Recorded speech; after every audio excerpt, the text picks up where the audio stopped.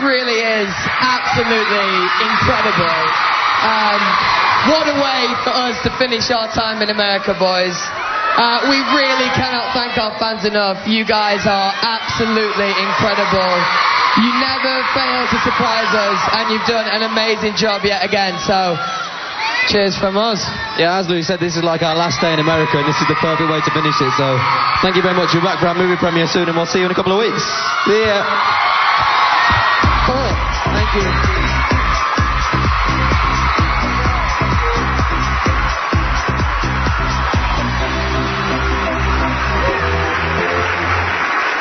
Oh my God! What what a way to start this party tonight, you guys!